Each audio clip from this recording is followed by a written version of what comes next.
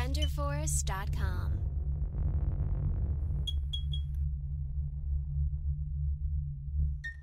now, but um, so I'm going to give you a mod guide today. I am going to increase the spring, relube it, and take out all the air restrictors in this turret, and it should be fun.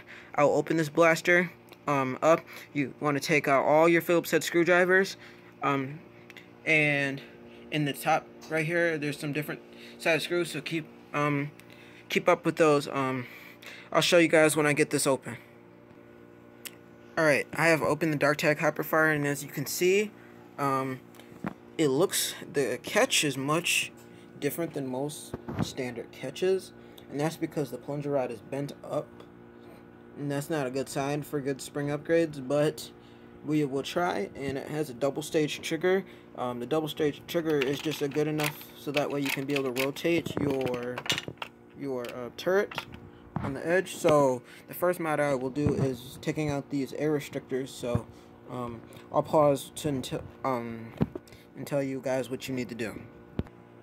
Alright, I figured out um, how you're going to get these air restrictors out. There are one, two, three, four, five screw ports that you will need to unscrew in order to be able to get this black half off in order to be able to get your air restrictors. So I'm going to unscrew those um, right now. Uh, let me find my screwdriver. Right here, I have my screwdriver. Um, actually, I'll cut to the segment and unscrew these so I can unscrew them easier for you. And I'll be, I'll be right back. Okay, I'm back. And once you get your air restrictors, they should look like this. An air restrictor it has an air restrictor spring, which is right here. And the air restrictor itself. So this is what um, compresses the dart down and allows the air to flow. Without the dart, it will dry fire and you, once you take out these air restrictors, I re recommend that you do not dry fire blaster or release um or take away the life of your blaster.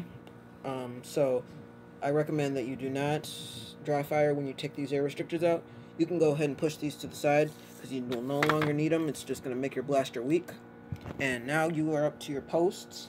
So what you're going to need is for this next part is you're to need some needle nose pliers. Um, actually, I have no in the world, nowhere in the world where mine. So I'm just to use some uh, bolt cutters, and you're to cut these um, pegs off. And as you see, these little pieces right there, these three pieces, let me grab a little air restrictor here. You see these pieces right here, and you set them over there, the, the, you want to delete that so that way the air restrictor won't even be able to fit in there anymore. So you want to take off that whole area, and I'm going to do these to all of these, and I'm going to show you what they look like when I get back.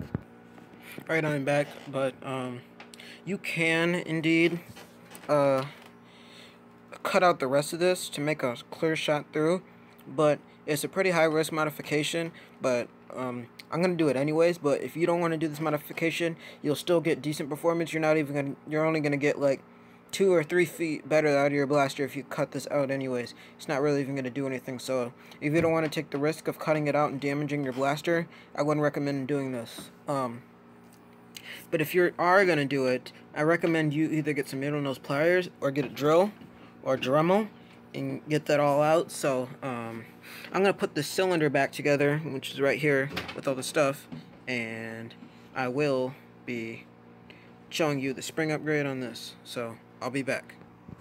Well, I've screwed back in the, um, the turret. Um, I've ran into one problem. Plunger head's solid. Um, so I'm going to figure out how to get the spring off. Um, but if I don't do a spring upgrade, you can always twist off the spring. And this thing will still get good uh, good power without you uh, doing the, you know, little upgrade. So, um, stay tuned. Oh my god. Alright. I finally got the spring combination on there.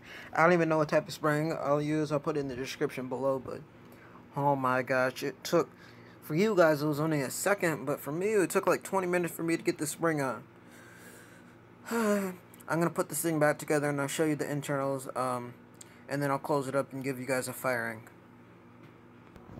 Alright, I'm just giving you a final segment of the blaster, but this took a while to get the spring on, but the turret is back in place. I have all the blaster components in catch, catch spring, trigger, catch release, all the other good stuff to make the blaster work.